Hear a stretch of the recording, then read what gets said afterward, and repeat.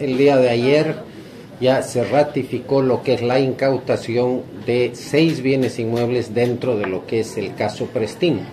Estamos hablando de seis inmuebles, entre ellos eh, Lemon City, por ejemplo, que es una propiedad de muchos metros cuadrados y de gran valor económico.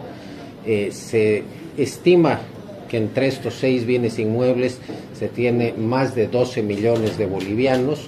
Esto hubo una, una, apelación por parte de la defensa de la exalcaldesa, la cual ayer ya se ha ratificado la incautación de los mismos dentro del caso Prestín, por lo que con esto ya se tiene garantizado por lo menos un importante monto económico para poder ser recuperado una vez que acabe este proceso.